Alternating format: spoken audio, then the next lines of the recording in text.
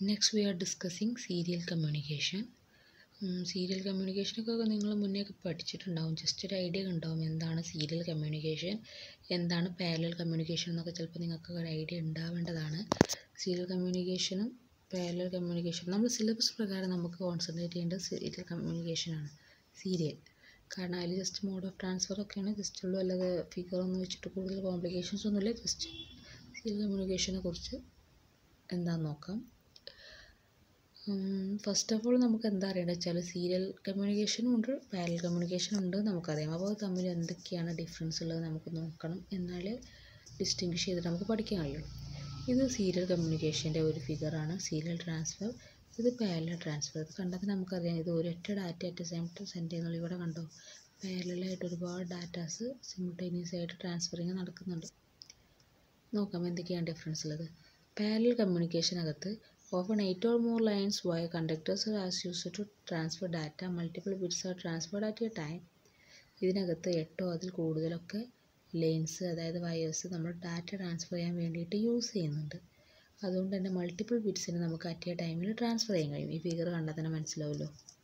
ഈ ഫിഗറൊക്കെ വരക്കട്ടോ. സീരിയൽ കമ്മ്യൂണിക്കേഷനെ കുറിച്ച് ചെറിയ ഷോർട്ടായിട്ട് ചോദിച്ചാൽ ജസ്റ്റ് സീരിയൽ കമ്മ്യൂണിക്കേഷനെ കുറിച്ച് ഈ പോയിന്റ്സ് പറഞ്ഞാൽ മതി ഇതൊന്ന് എലാബറേറ്റ് ചെയ്ത് പറഞ്ഞാൽ മതി. നമ്മൾ ഷോർട്ടാക്കിയിട്ടാണ് നോട്ട്സ് തരുന്നത്. കാരണം നമുക്ക് വെറുതെ നിങ്ങൾക്ക് ഇനി ഈ ടൈമിൽ ഓവർലോഡ് വരരുതെന്ന് കരുതിയിട്ട് ഷോർട്ടാക്കിയിട്ടാണ് ഓരോ പോയിന്റ്സ് തരുന്നത്. ജസ്റ്റ് എലാബറേറ്റ് ചെയ്ത് മതി ഷോർട്ടാണെങ്കിൽ ഷോർട്ട് എസ് സി ആകുമ്പോൾ സീരിയൽ കമ്മ്യൂണിക്കേഷൻ പറയാം. പിന്നെ ഇത് തമ്മിലും കമ്പയർ ചെയ്തിട്ട് പറയാം. എന്നിട്ട് ഈ ഫിഗറൊക്കെ ഇൻക്ലൂഡ് ചെയ്യുക ഓക്കെ പിന്നെ എസ് സി ഒക്കെ ചോദിക്കുകയാണെങ്കിൽ പിന്നെ മോഡ് ഓഫ് ട്രാൻസ്ഫറൊക്കെ ജസ്റ്റ് പറയാം.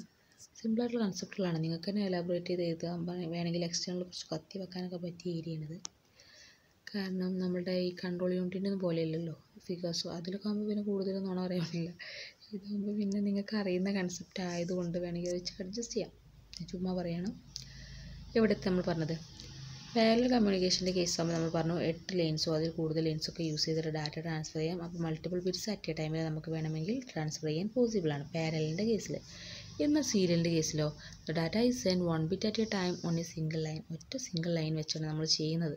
അതുകൊണ്ട് തന്നെ ഡാറ്റ വൺ ബിറ്റൊക്കെ അറ്റ് എ ടൈമിൽ സെൻഡ് ചെയ്യാൻ കഴിയുള്ളൂ.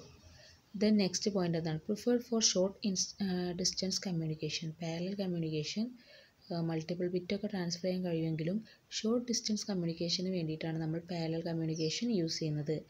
എന്നാൽ സീരിയൽ കമ്മ്യൂണിക്കേഷൻ പ്രിഫർ ചെയ്യുന്നത് എന്താണ്? Over long distance communication serial communication over long distance കമ്മ്യൂണിക്കേഷനിൽ പോസിബിളാണ് അപ്പോൾ ലോങ് ഡിസ്റ്റൻസ് കമ്മ്യൂണിക്കേഷന് വേണ്ടി നമ്മൾ സീരിയലും യൂസ് ചെയ്യും. പിന്നെ ഷോർട്ട് ഡിസ്റ്റൻസ് കമ്മ്യൂണിക്കേഷന് വേണ്ടി വേണമെങ്കിൽ പാരലിലും യൂസ് ചെയ്യാം. Costly as more resources are required parallel communication കോസ്റ്റ്ലിയാണ് comparing to serial communication so എന്താണ്? സീരിയൽ കമ്മ്യൂണിക്കേഷൻ കമ്പാരിറ്റീവ്ലി ചീപ്പറുമാണ് കാരണം ഇത് പറഞ്ഞാൽ കൂടുതൽ റിസോഴ്സസ് ഒക്കെ ആവശ്യം വരും. പിന്നെ ഇതിന്റെ വർക്കും അത്രയും കുറച്ച് ഗ്യാരണ്ടീഡ് ആയിട്ടുള്ള വർക്കാണല്ലോ മൾട്ടിപ്പിൾ ബിറ്റ്സിനെയാണ് അറ്റ് ടൈമിൽ ട്രാൻസ്ഫർ ചെയ്യുന്നത്. അപ്പോൾ കോസ്റ്റ്ലി ആണ്. ഓഫ് കോഴ്സ് കോസ്റ്റ്ലി ആയിരിക്കും. കാരണം അത്രയും റിസൾട്ട് അതിനകത്ത് നിന്ന് കിട്ടുന്നുണ്ട്. അപ്പോൾ അതിന്റേതായിട്ടുള്ള എക്സ്പെൻസ് അതിനുണ്ടായിരിക്കും. ഈ കേസിന് പക്ഷേ നമുക്ക് അത്തരം റിസൾട്ട് കിട്ടുന്നില്ലല്ലോ. Just one bit at a ടൈമിലൊക്കെ കിട്ടുകയാണെങ്കിൽ പിന്നെ എന്തായാലും ചീപ്പറായ ഇതിൽ കിട്ടുന്നത് ആയിരിക്കുമല്ലോ അത്രയും ക്വാളിറ്റി കുറയുന്നത്. പിന്നെന്താണ് next speed of data transfer is high data ട്രാൻസ്ഫറിന്റെ speed high ആണ്. ഇവിടെ സീരിയൽ കമ്മ്യൂണിക്കേഷന്റെ കേസിൽ എന്താണ്? ഡാറ്റ ട്രാൻസ്ഫറിന്റെ സ്പീഡ് സ്ലോ ആണ്. അപ്പോൾ പാരലാകുമ്പോൾ ഹൈ സ്പീഡാണ് സീരിയലാണെങ്കിൽ സ്ലോ ആണ്. പാരലാണെങ്കിൽ കോസ്റ്റ്ലി ആണ്. ഇതാണെങ്കിൽ ചീപ്പറാണ് നെക്സ്റ്റ് പാരലാണെങ്കിൽ ഷോർട്ട് ഡിസ്റ്റൻസ് ആണ്. സീരിയലാണെങ്കിൽ ലോങ് ഡിസ്റ്റൻസ് ആണ്. ഓക്കെ അപ്പോൾ പാരലിന് പിന്നെ എക്സാമ്പിൾ എസ് പി ഐ ഉണ്ട് ടൂൾസി ഉണ്ട് യു എ ടി ഇതൊക്കെ പിന്നെ നമ്മുടെ മൈക്രോ പ്രോസസ്സറിന്റെ കേസിലൊക്കെ വരുന്നതായിരിക്കും അല്ലെങ്കിൽ മൈക്രോ കൺട്രോളറിന്റെ കേസിലൊക്കെ വരുന്ന എക്സാമ്പിൾസ് ആണ്. എന്നാലും ജസ്റ്റ് എക്സാമ്പിൾസ് എഴുതി വെച്ചോളൂ. യൂണിവേഴ്സൽ യൂണിവേഴ്സൽ അസിംഗണസ് ട്രാൻസ്ഫർ ഒക്കെയാണ്. ദെൻ ആ സീരിയലിനകത്ത് പി സി ആറിന്റെ ഒരു എക്സാമ്പിൾ ഉണ്ട്.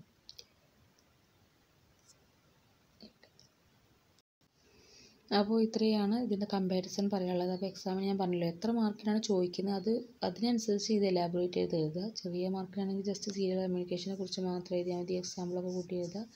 എല്ലാ പാല കമ്മ്യൂണിക്കേഷന്റെ കേസ് വരുമ്പോൾ സോറി പാല കമ്മ്യൂണിക്കേഷൻ ചോദിക്കില്ല. കാരണം സീരിയൽ ചോദിക്കാൻ ചാൻസ് ഉള്ളൂ. സീരിയലിന്റെ പിന്നെ മാർക്ക് കൂടുന്നതിനനുസരിച്ച് നിങ്ങൾ ഇത്തരം കമ്പാരിസൺസും പിന്നെ മോഡ് ഓഫ് ട്രാൻസ്ഫർ ഒക്കെ ഇൻക്ലൂഡ് ചെയ്യുക കേട്ടോ. Then mode of serial communication ഇതിനകത്ത് മൂന്ന് ടൈപ്പ് സീരിയൽ കമ്മ്യൂണിക്കേഷൻ പറയുന്നുണ്ട്. ഒന്ന് സിംപ്ലക്സ് ആണ് പിന്നെ ഒന്ന് ഹാഫ് ഡ്യൂപ്ലക്സ് പിന്നെ ഒന്ന് ഫുൾ ഡ്യൂപ്ലക്സ് ഫിഗറും കൊടുത്തിട്ടുണ്ട്. അപ്പോൾ നിങ്ങൾക്ക് എക്സാമിന് ചോദിക്കുമ്പോൾ ഫിഗർ എന്തായാലും ഇൻക്ലൂഡ് ചെയ്യണം. സിമ്പിളായിട്ടുള്ള ഫിഗറാണ് സിംപ്ലക്സിന്റെ കേസ് ആകുമ്പോൾ വൺ വേ ആണ്. ട്രാൻസ്മിറ്റർ ഉണ്ടാവും ഒരാൾ ഒരു സിസ്റ്റത്തിന് ട്രാൻസ്മിറ്ററായി ട്രാൻസ്മിറ്ററായിട്ട് ആക്ട് ചെയ്യാൻ കഴിയുള്ളൂ. മറ്റേ സിസ്റ്റത്തിന് എന്താണ്? റിസീവറായിട്ട് ആക്ട് ചെയ്യാൻ കഴിയുള്ളൂ. അപ്പോൾ ഇവിടെ നിങ്ങളുടെ സെൻഡിങ് മാത്രമേ നടക്കുള്ളൂ. തിരിച്ചൊന്നും നടക്കില്ല. എന്നാൽ ഹാഫ് ടുപ്ലക്സിന്റെ കേസ് വരുമ്പോൾ ട്രാൻസ്മിറ്ററും ഉണ്ട് റിസീവറും ഉണ്ട്. ഒരു സൈഡ് ഒരു സിസ്റ്റത്തിന് തന്നെ ട്രാൻസ്മിറ്ററും ആവാം റിസീവറും ആവാം. ഓക്കെ അപ്പോൾ ഈ ട്രാൻസ്മിറ്റർ ആവുന്ന സമയത്ത് അത് വേറൊരാൾക്ക് സെൻഡ് ചെയ്ത് കൊടുക്കും. അത് റിസീവർ ആവുന്ന സമയത്ത് വേറൊരാൾക്ക് തിരിച്ചും സെൻഡ് ചെയ്യാൻ കഴിയും. പക്ഷേ അറ്റ് എ ടൈമിൽ സിമിൾട്ടേനിയസ് ആയിട്ട് സെൻഡ് ചെയ്യാന്ന് പറഞ്ഞാൽ പോസിബിൾ അല്ല. ഒന്ന് കഴിഞ്ഞിട്ടേ അടുത്ത്. കാരണം സീരിയലാണല്ലോ അതേപോലെ ഫുൾ ഡ്യൂപ്ലക്സ് ഉണ്ട്. ഫുൾ ഡ്യൂപ്ലക്സിന്റെ കേസിൽ മാത്രം രണ്ട് ലൈന് വരും എന്ന് വെച്ചാൽ രണ്ട് എന്നല്ല ഈ ട്രാൻസ്മിറ്ററിന് റിസീവർക്കും സെൻഡ് ചെയ്യാം. റിസീവറായിട്ടും ഇതിനെ ആക്ട് ചെയ്യാൻ കഴിയും. എ ടൈമിൽ തന്നെ രണ്ട് രണ്ട് പ്രോസസ്സിങ് പോസിബിൾ ആയതുകൊണ്ടാണ് രണ്ട് ലൈനായിട്ട് നമ്മളിവിടെ യൂസ് ചെയ്യുന്നത്. ഓക്കെ അപ്പോൾ സിംപ്ലക്സ് എന്താണ് മനസ്സിലായില്ലേ? അതേപോലെ ഹാഫ് ഡ്യൂപ്ലക്സും ഫുൾ ഡ്യൂപ്ലക്സും നോക്കാം. Notes in simplex transmission the computer can only send data there only one wire സിംപ്ലക്സിന്റെ കേസിൽ നമ്മൾ പറഞ്ഞു കമ്പ്യൂട്ടറിന് എന്താ ഡാറ്റ ട്രാൻസ്മിറ്റ് ചെയ്യാനേ കഴിയുള്ളൂ ഒരു വയർ ഉണ്ടായിരിക്കുള്ളൂ. എന്ന് വെച്ചാൽ ഇതാണ് ട്രാൻസ്മിറ്റർ എങ്കിൽ ഇതിന് ട്രാൻസ്മിറ്റ് ചെയ്യാനേ കഴിയുള്ളൂ. ഇതാണ് റിസീവർ എങ്കിൽ ഇതിന് റിസീവ് ചെയ്യാൻ മാത്രമേ കഴിയുള്ളൂ. ഇതിന് ട്രാൻസ്മിറ്റ് ചെയ്യാൻ കഴിയില്ല ഇതിന് റിസീവ് ചെയ്യാനും കഴിയില്ല. അത്തരം ടൈപ്പാണ് simplex serial communication then if the data can be transmitted and receive then it is duplex transmission duplex transmission എന്ന് പറഞ്ഞാൽ അപ്പോൾ രണ്ട് ടൈപ്പ് ട്രാൻസ്മിഷൻ പറയുന്നു. സിംപ്ലക്സ് ട്രാൻസ്മിഷനും ഡ്യൂപ്ലക്സ് ട്രാൻസ്മിഷനും ഈ ഡ്യൂപ്ലക്സിനകത്താണ് നമ്മൾ പറഞ്ഞത് എന്താണ്? ഹാഫ് ഡ്യൂപ്ലക്സും ഫുൾ ഡ്യൂപ്ലക്സും ഉള്ളത് കേട്ടോ. അപ്പോൾ ഈ ഡ്യൂപ്ലക്സിനകത്ത് പറയുമ്പോൾ if the data can be transmitted and received ഒരു സിസ്റ്റത്തിന് തന്നെ ഡാറ്റ ട്രാൻസ്മിറ്റ് ചെയ്യാനും കഴിയണം റിസീവ് ചെയ്യാനും കഴിയുകയാണെങ്കിൽ അത്തരം കേസാണ് ഡ്യൂപ്ലക്സ് ട്രാൻസ്മിഷൻ പക്ഷേ അത് ഹാഫിന്റെ കേസ് സെയിം ടൈം അല്ല ഫുൾ ഡ്യൂപ്ലക്സിന്റെ കേസ് സെയിം ടൈമുമാണ്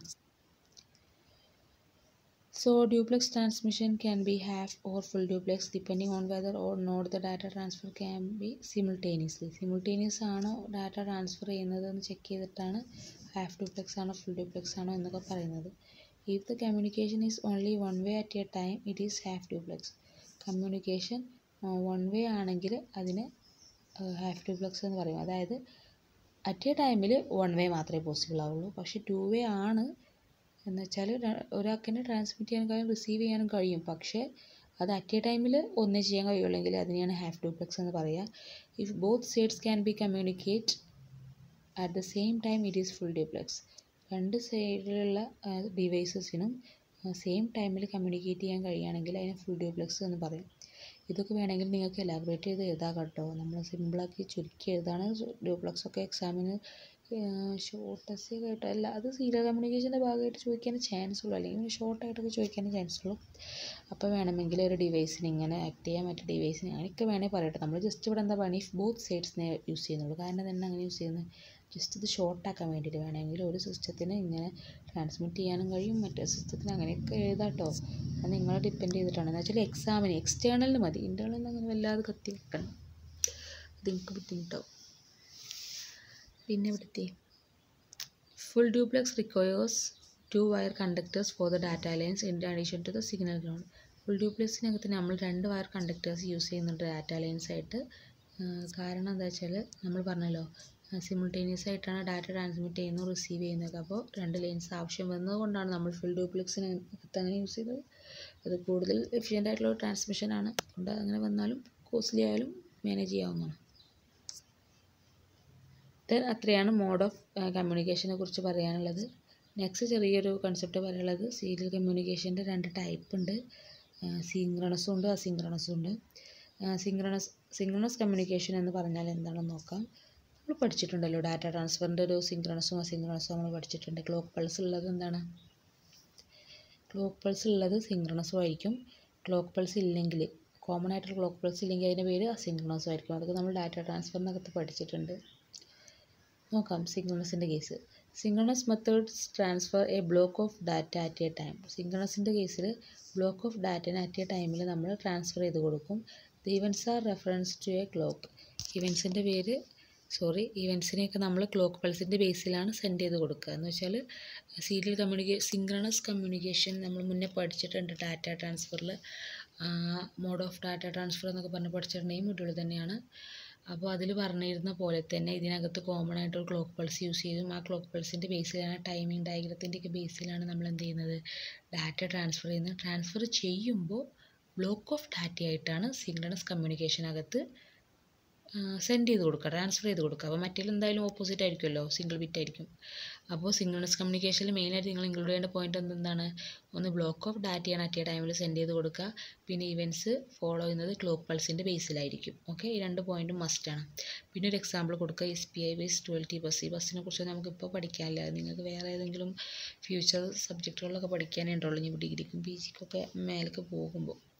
ജസ്റ്റ് ഈ എക്സാമ്പിൾ ഇൻക്ലൂഡ് ചെയ്താൽ മതി. ഇനി എക്സാമ്പിൾ ഇല്ലെങ്കിലും കുഴപ്പമില്ല. ജസ്റ്റ് ഈ പോയിന്റ്സ് ഇൻക്ലൂഡ് ചെയ്യുക. Block of data at a ടൈമിൽ സെൻഡ് ചെയ്യും. പിന്നെ ക്ലോക്ക് പൾസിന്റെ ബേസിലാണ് ചെയ്യുന്നത്. ദെൻ അസിങ്രണസ് കമ്മ്യൂണിക്കേഷന്റെ കേസ് വരുമ്പോൾ എന്താണ്?